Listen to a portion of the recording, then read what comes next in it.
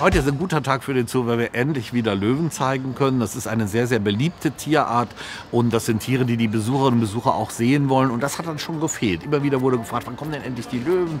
Und wir haben ja hier in den letzten Jahren gebaut und modernisiert und saniert. Und jetzt ist so der Tag, wo von uns allen so ein bisschen die Last abfällt. Es ist geschafft, die Etappenziel ist erreicht. Und für die Besucherinnen und Besucher heißt das auch bald wieder Löwen zu sehen. Ja, richtig klasse. Also sowohl der, die große Freude, dass wir wieder Löwen haben in Dortmund, ne, gehört ja zu jedem Zoo dazu, ist die Attraktion eines jeden Zoos wahrscheinlich in ganz Deutschland oder in Europa. Und das Gehege ist auch richtig schön geworden. Also nicht nur das Haus selber, sondern das Ganze drumherum mit der Brücke, mit der begehbaren Situation. Ich glaube, so nah ist man den Löwen hier in Dortmund auch noch nie gekommen.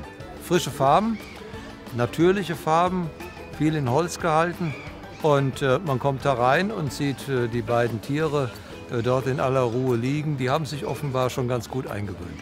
DSW 21 äh, unterstützt das Löwenhaus hier sehr gerne, weil wir mit dem Projekt Dortmut äh, hier sehr sichtbar werden. Äh, wir unterstützen soziale, kulturelle, sportliche äh, Projekte äh, hier mit dem Löwenhaus mit einer sehr hohen Frequenz, mit mehr als 500.000 Besuchern und freuen uns natürlich hier an der Modernisierung dieses Projektes unterstützen zu können. Wir haben ja erstmal die zwei Mädchen hier drin. Der Kater ist noch nicht in dem Haus jetzt, aber die zwei Mädchen haben sich schon ganz gut eingewöhnt. Sie sind noch ein bisschen schüchtern natürlich und gerade heute, wo das erste Mal auch mal fremde Leute ins Haus kommen, da schieben sie schon mal so ein bisschen skeptisch um die Ecke. Aber äh, da wir, sind wir guter Dinge, dass die sich sehr gut eingewöhnt haben in den nächsten Tagen. Und dann kommt der Kater dazu und dann hoffen wir, dass wir das Rudel sinnvoll zusammengestellt haben.